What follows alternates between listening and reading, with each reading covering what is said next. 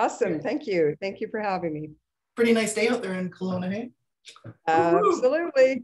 we live in a beautiful part of the world for sure. Awesome. Okay, so let me get to introducing our next presenter, Mona. So mm. Mona Niebergall is from Stepping Stones I had that before Mona. Homeopathy. Yeah. Why am I struggling? I was doing I was doing well before. She's going to be talking to you today about how is your body speaking to you? How can you release the disease, the dis, disease with homeopathy? She has been studying homeopathy since 2002 and has been in practice since 20, uh, 2010. She took her training at the Lumi, Luminos School of Homeopathy in Vancouver from 2004 to 2008 and received her homeopathic master clinician diploma. She also has uh, diplomas from the uh, Devonshire School of England for anatomy and physio physiology and pathology and disease. Yes. She is registered with the Canadian Society of Homeop Homeopaths and the BC Association of Homeopaths. Past training in touch for health and body management courses, nutrition courses, ear candling, Australian bush flower essences, uh, training in orthobionomy courses. Orthobionomy. Um, orthobionomy. I'm so sorry. I'm trying to do well. Uh, she will be a, a, lifetime student of human psychology, finding the root cause of disease from the understanding and practice of homeopathy. Health to her comes from a balance of mental, emotional, physical, and spiritual wholeness, which is what home- homeopathy addresses. She currently has a full time practice in Kelowna, BC and she's awesome. Thank you, Shona. I will turn it over to you, and if you have any questions or comments for Mona, please type them in the in the uh, Facebook uh, feed here, and I will pass them along to Mona. And you'll pass them on. Okay, can you yeah. just allow me to screen share? I'll talk for a few minutes, and then I'm going to do a PowerPoint as well. Yeah, screen share away. Okay, awesome. Thank you so much, Shauna, for that fabulous introduction. And um, I, I, just want to talk a little bit about myself. So I, I knew from a very young age that I was to be of service to people. Um, in elementary school, I would counsel people, and they and they nicked me, named me uh, Counselor Casey actually back in the day. So I always knew that I wanted to help people, and it's been a really beautiful journey. Uh, when I was 19, um, I started to have issues with my gallbladder, started to have gallbladder attacks, and that kind of got me into the world of health and healing. And so I decided that uh, I would go and see a naturopath and that I would go down the natural road because they wanted me to, um, the doctors wanted to take my gallbladder out. And I wasn't uh, really interested in doing that at 19 years old. So this started my whole, um, my whole life work into health and healing and how to help myself and how to help others and how to find other ways to heal. Um, and in the 1990s, I started to take Touch for Health courses and started to really delve into nutrition and started to have more of an understanding of how our body works. But, you know, when I was working on people, I noticed that um, there was a lot of repeat patterns that were happening. I would help people, but then they would come back in three weeks with the same issue. It might be a little bit better, might be a little worse, might have gone to the other side of the body. And I, I started to get really frustrated because I felt like just doing body work wasn't enough, that there had to be something uh, bigger. There was more of a dimensionality to it. There was more, something deeper that I wasn't reaching. So in 2002, uh, my girlfriend at the time, who was very much into health and healing as well, um, invited me to come to a natural first aid course with her. And at this natural first aid course, I heard about homeopathy for the first time in my life. I couldn't believe that I had done all these years of different healing modalities and I had never heard of homeopathy before. All the bells and whistles went off in my head because I understood that this was the answer I was looking for. This addressed the mental, the emotional, the physical, and the spiritual. So we had all of those dimensions being answered. So it was it was talking about root cause, and that's something that I wanted to get into and talk a little bit more. It was about um, looking at things in a more deeper way and actually finding it. So um, I just want to share with you. Hopefully you can see this. I don't know if everyone can see this or not. Shauna, can they see this? I'm not sure. Oh, Hang on. I can't see it yet. Uh, I'm sure Okay. the screen, yeah, you should be able to share it. Uh, share. Hang on. Sorry, everybody. I thought I had this figured out. Hey, it's tech. It's always a bit of a challenge. Heck, and it just drives me. Okay, it says share screen. Okay, here we go. There it is, I think. Share. Ah, There you go. There we go. Everybody can see that? I can see it, yeah. That's Okay, thanks, Shauna. Thank you for your help. Okay, so releasing your dis-ease with homeopathy and how is your body speaking to you? So when people come to see me, it's always usually, usually always about a physical ailment. And then I'm asking them, what is your body trying to say? What is your physical body actually saying to you on that deeper level? So every ailment or illness has a causation, whether it is obvious or not. It can be a physical cause, an emotional or a mental cause. For many people, they end up in an unconscious replaying of a past event or a situation in order to repair or recreate the outcome. Unfortunately, unless an ailment is released on every level or dimension, because we are multi level humans, our physical bodies hold the memory of whatever has happened to us. Okay, so if you have a certain place in your body, which is your signal that something is off balance, that will always be your weakness in your physical body. So a lot of times when people get sick, they'll say to me, Oh, I, I know I'm coming down with something because my throat hurts. Right away, just something is off in my throat and I don't feel well, but it always starts in my throat. So I'll know that that's an that's a place that's their weak spot for them. That's their body speaking to them that, oh, things are off balance. So we need to go back and um, address old issues that are not healed. So when something happens acutely, like you smash your fingers in a car door, ouch, or you get stung by a bee, all the information is speaking very loudly with pain receptors and immediate reactions. You swell, you get red, hot, irritated when you get uh, stung by a bee or a wasp. The causation is very clear, and that's easy to remove because it's a very acute thing. It's just happened to you. For chronic old issues that have been present for longer than six weeks, and believe me, if it's been over six weeks, it's a chronic issue. That means that it's an ongoing thing that your body doesn't know how to deal with, and it doesn't know, and it doesn't have the information that it needs to heal. We need to look at the bigger picture to see things from a different perspective. So I call it the iceberg picture. What you see on the surface does not tell the story of what is happening inside or the past of what has happened to you.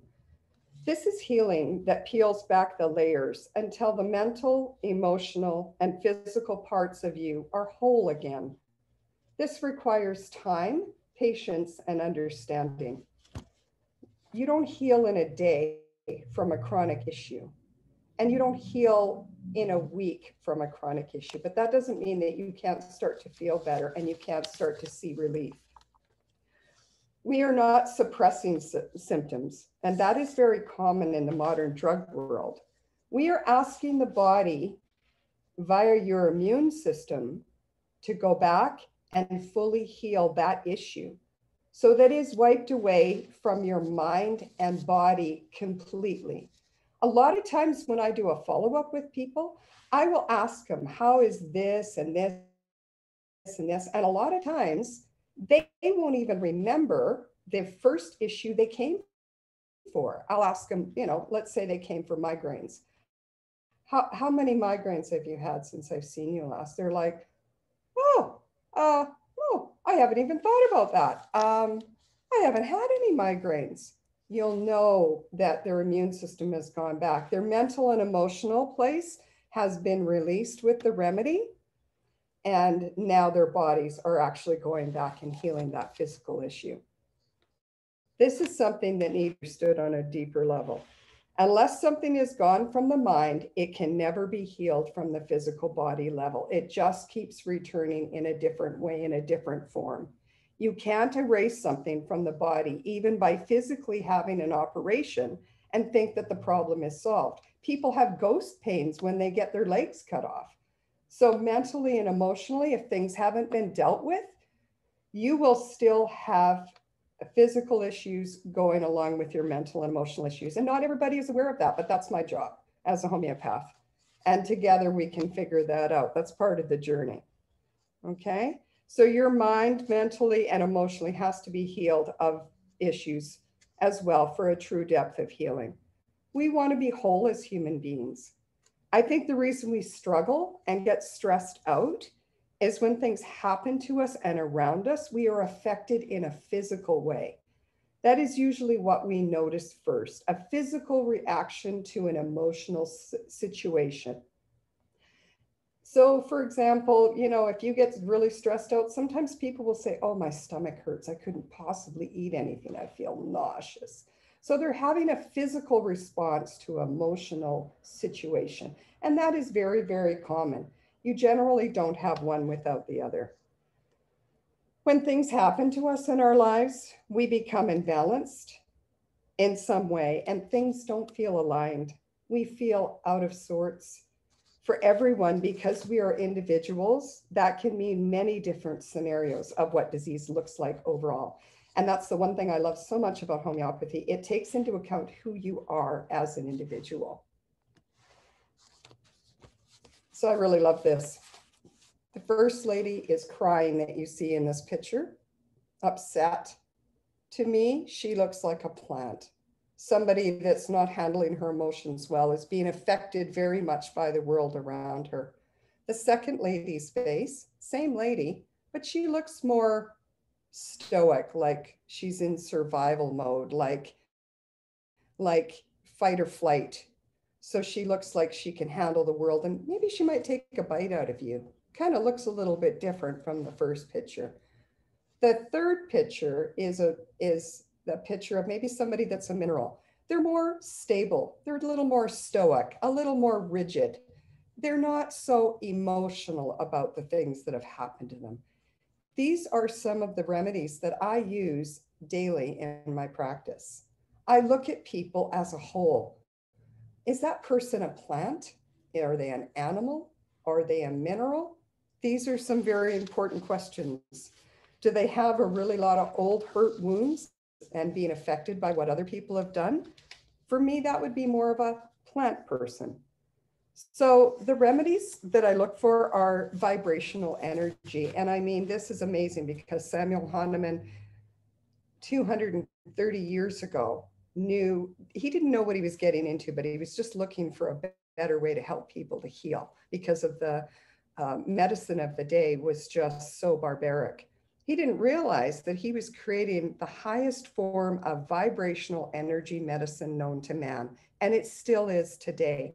And we still use the same remedies, albeit we use thousands more than what Samuel Hahnemann had time to um, create and prove in his lifetime but we use these um, same remedies every day that Samuel Hahnemann founded over 230 years ago. So vibrational energy is energy. Doesn't matter how long or how far. And um, it's just, it can help people in a deeply profound way. So I want to talk about a case I know people really love hearing about cases. They always find it really fascinating, the work that I do. So, of course, no names or anything are being used. So, this could be virtually anybody.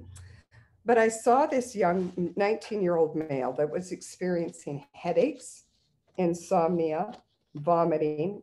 When he went outside of his comfort zone, he had huge anxiety and dizziness. He just wanted to stay in the house, couldn't go to work and um, so his mother called me, and uh, I came over to have a visit with him. It was easier to come to his home than to try and get him to come to my office because of the situation he was in. So when I was consulting with him, I found out that th- this young man had, had experienced a car accident months before I met with him. It wasn't even that serious of a car accident. But after speaking with him, I realized this was his second head concussion that he experienced within a few years. He also played hockey and uh, he had had a concussion and his anxiety had started around that time. He was experiencing massive anticipatory anxiety just thinking about going out with his friends and hanging out which you'd think would be a really great exciting thing for him. It usually would end up with him vomiting. He couldn't even go to work after this. He would carry an actual bucket around with him because he was so worried that he was going to be vomiting he used to be a very excuse me he used to be a very social um, person as well. oh, excuse me. I'm sorry. He had a girlfriend, he had a good job, and now his life was on hold. So I really felt like he needed a remedy for the shock that he had encountered um, with the car accident and also with the concussion. So I gave him aconite, which is a very common shock remedy, but I gave it to him in a pretty high dosage because I really needed to affect that mental and emotional place to help his physical body. He actually only took that remedy twice. The dizziness got better. The headaches came only once every two days instead of every day. He didn't experience any more vomiting. He felt like he was going to, but he actually never did get sick again. His anxiety lessened quite considerably. He started to sleep better. Everything just started to lessen and improve. After a second follow up, three months later, he didn't have any more anxiety attacks or vomiting. He went back to work full time passed his end test for driving, and he didn't need to repeat the remedy again. His body just kept peeling back the layers because the energy and the force of the uh, vibrational energy was still there in him. It's not like a medication that he had to keep repeating over and over again. He went back to his regular regular life, which was awesome. I was so happy to be able to help him. So that was fabulous. My next case I want to talk about was about a 76 year old woman. Her main complaint that she came to me was she was in a grief state from dealing with the death of her daughter. The truth of this story is all the issues that were actually present for many years became very difficult to ignore or deal with after the trauma of losing her loved one. So she had a lot of underlying emotional and mental issues going on. But the grief state that she felt after her daughter died brought out all the other unhealed parts of this woman back to the surface. And that's what happens a lot. People think that something happens suddenly, but there's actually a lot of unresolved things that are going on for people that when something happens again, it brings it all back up. So all of those unhealed wounds and parts of ourselves that we've been dealing with for a long time show up again. And people think that it's new, but it's actually most of the time very old issues. So this lady had been struggling with depression, heart issues, weight issues, insomnia for many years.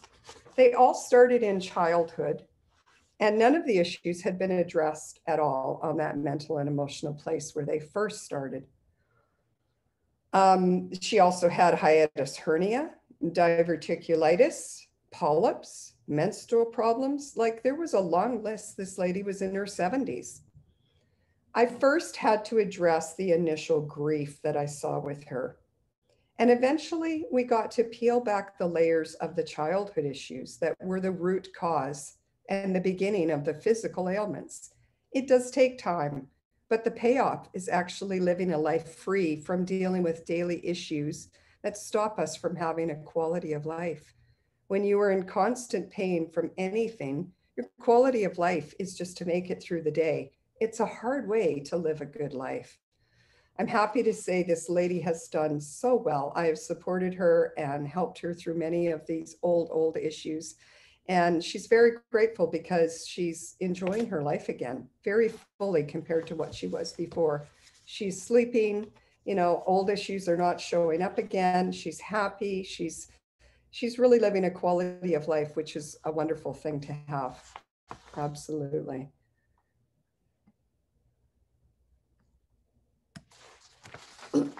So, where are we? Sorry, I'm missing something here. Oh, so this woman that I uh, saw had um, been diagnosed with Lyme disease. She was a woman in her 40s and she'd been suffering for over 10 years with her symptoms. She tested negative, but had all the symptoms for Lyme, and her job was um, spent outside. That's where she worked. So Lyme disease was a very uh, good possibility for her because she did work outside. Um, some of her symptoms were her memory was very affected, slept all the time, but still felt very lethargic.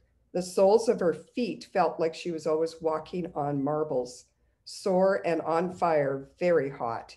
She had day and night sweats. Tips of her fingers were tingling and had a lot of numbness. Her joints were constantly sore and painful. She never had a day that she could remember not being in pain for the last 10 years. Her lymph nodes um, were swollen and sore just about every day. And the pain was constantly moving and changing all of the time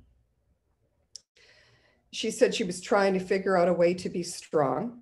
She said, This disease is killing me. I feel like the walking dead. By the time she took her second dose of the remedy, it took her five days before she realized that she wasn't having any pain at all. She was so used to being in pain mode, it took her that long to actually have the realization.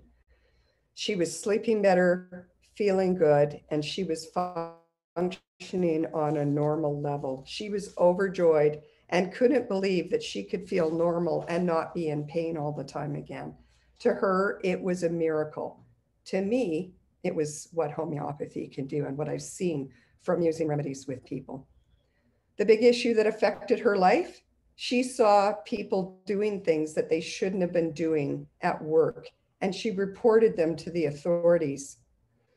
And, and for that, she ended up losing her job and her livelihood over this situation. She was a whistleblower, and we actually have a remedy that we think of when people are whistleblowers. She did the right thing, but she was treated unfairly. This was the start of her stress, and it continued until it was addressed to release that mental and emotional part of herself. It was quite an amazing case, and I'm very happy that she came to see me actually. So when you have the correct remedy to address the underlying problem, the body will release and heal the issue. Everything that happens in your physical body is being held in your mental and emotional world. And I know a lot of people have a problem with that because they don't see the correlation. But what has occurred in the past gets stored as pain or illness, dis-ease in the physical body. This is our stress. Whether it is brand new or old, our physical body responds with signals. We cannot heal what we don't address. That mental and emotional issues have to be addressed to allow the physical body to heal. That is the beauty of homeopathy. Everything can be addressed without question. Homeopathy releases in a gentle yet powerful way. What is your stress? This is the story of your life and it's an individual process for everyone. So there is not a one size fits all remedy. There is not a, oh, just because I took this means it's going to work for my friend, because their circumstances and their pain and their reason for being sick or having an illness or whatever it might be is not going to be the exact same as yours. I see cases that are closely similar, but there's always very individual things that make it theirs. And that's why I love homeopathy as well, because it's very individualized. We look at things on a one to one basis. We don't just say this is a one size fits all and you can take this and you'll be good. It is very individual. So these are common issues I see very often in my practice insomnia, And I'm not going to read all of these, you know, as um, what the underlying thing, but I thought insomnia is really an interesting one because I see this a lot. Deep fear of letting go and not trusting the process of life. A lot of times when I see people with insomnia, they, it can have lasted a long, long for them. So I think this was a very important thing um, to, to be aware of that mental and emotional aspect of things underneath. Depression, anxiety, feelings of worthlessness, low or no energy, no libido, no sex drive, high blood pressure. So high blood pressure is interesting. I see this a lot too. They suppress their negative emotions with people for fear of hurting them. So it's like they're doing it to themselves. They've shut themselves down. And so their blood pressure rises, which is really interesting. I see a lot of men menstrual and menopausal issues, prostrate, um, male impotence issues, vertigo, and interesting for vertigo, it feels unsafe. They are overwhelmed, mental confusion due to the outside pressure of the world. I see heart issues, head pain, migraines, tendonitis, arthritis. And arthritis I thought was very interesting. There's a lot of anger, people around not carrying their load. They can feel unloved with a resulting resentful bitterness and judgmentalness. So a lot of times, you know, people think that this is just a physical thing, but it's not. See a lot of grief. Uh, I see a lot of thyroid issues, Crohn's, colitis, irritable, irritable bowel syndrome, virus, fungal issues, shingles, herpes. I mean, people always ask me, what can you do? What can you help? Um, anything really, because I'm dealing with you as the individual. This is your journey. This is me supporting you. So the list is endless. Who you are as a human being is very important to me. And um, you know what what happened to you? What makes you tick? What what is your stress? You know, those are those are really important things that I need to know to be able to help you. So 50 years later, this is a really good one healing my own surgeries and trauma. So, approximately three years ago, I got the same pain in my ear, my left ear, that I had as a child. I, I recognized it very well um, because ear pain is a very horrible pain and it really hurts a lot because it's, you know, head pain. Um, now, my ear pain is a history dating back over 50 years. I had multiple ear infections and high fevers in my childhood until it was discovered that my left ear, and they're not sure why, but the hammer, anvil, and stirrup that transmits sound were disintegrated. And they don't know if it was because of the high fevers or if it was um, something that I was born with. So I had multiple surgeries as a child and lots of antibiotics. So after taking remedies for many years, I was healthy enough that my body went back 50 years. I know that's really hard to believe to heal my old surgeries, my ear infections, and to get rid of all the antibiotics. I could actually smell infection. I know that sounds disgusting, but I could smell it coming out of my ear. I didn't have an infection because there's nothing really in that ear except for a little thumbtack thing that transmits sound from my left ear. It was fascinating and it was a little gross, I must admit, to be a witness to what my body could do and heal. My body purged old stuff out of both ears. Even my right ear was affected. My ears would plug up, stuff would come out of them. Like it was just incredible what my body wanted to go back and do but it was a natural process and I just allowed it. I only took remedies for a few days just to help with the pain. And after the pain was gone, I just let the body do its natural process of healing, is what it needed to do. My body just wanted to do that. So your body is designed to heal everything. And when you have healed everything else, your body will continue to come back, come and heal back those layers of the old wounds and injuries until there is nothing left to address. So I just had to share that because people always ask me, what can your body heal? It wants to go back and heal everything, even 50 from 50 years ago. So this really um, cool guy came in to see me, 72 years old, bronchitis for two years he had had, took antibiotics, did natural remedies.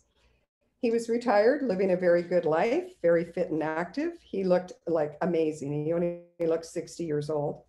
When I asked him about his life, we talked about his childhood. It became very clear that he had a very old wound that needed to be addressed. He was born uh, during World War II. And because his mother wasn't married, she left him at an orphanage that, and he was considered a bastard. They phoned his grandparents to come and get him. His grandparents picked him up, but they treated him poorly and didn't show him much love. He got pneumonia at one years old and almost died. Now, all of these years later, he had a lung issue again, and the lungs are a lot about unresolved grief and depression. I looked for a remedy that would address the bronchitis in the lungs and his old wound of not being loved as a child and left in that orphanage. It was a deep case with a beautiful ending. I gave him a plant remedy. And within a few weeks, his bronchitis disappeared completely and he felt like his old self again. Even the pain in his left arm he'd had for many years from manual labor disappeared as well. So he was uh, quite relieved when, when all of that happened, but I had to look at the root cause of that deeper issue that was going on. And that was um, a part of looking at him as a whole human being and, and not just one little piece of him. So that was really important.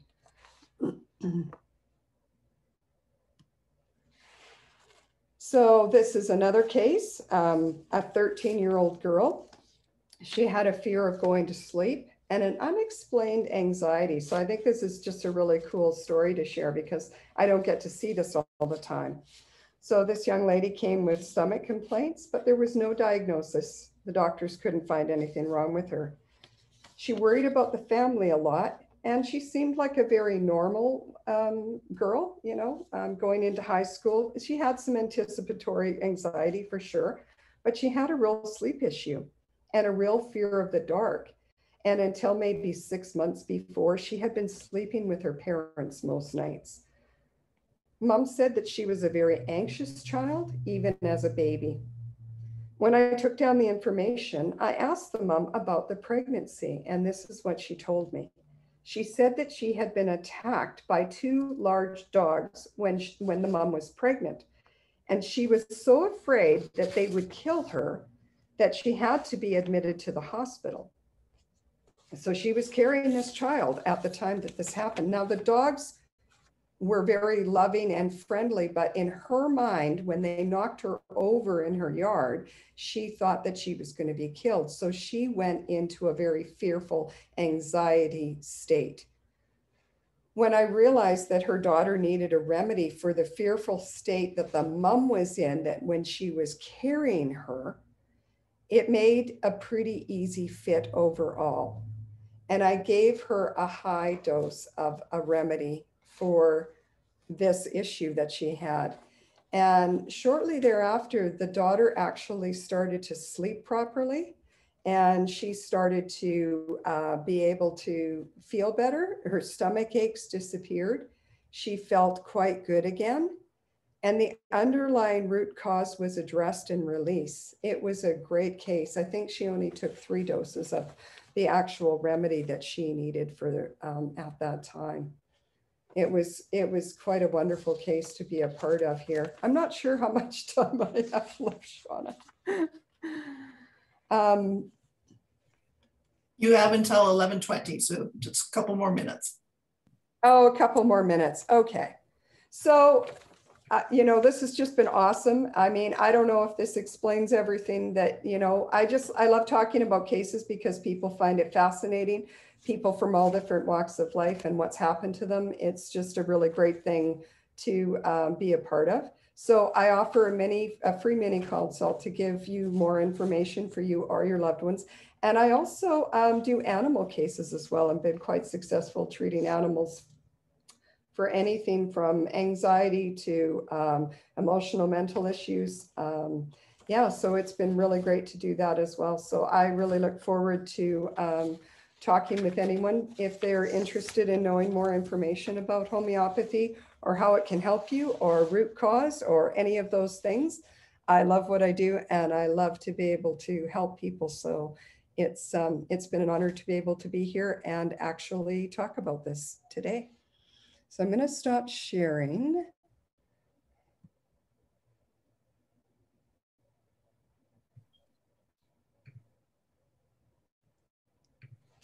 Hey, Shauna. Hey, how you doing? That was I great.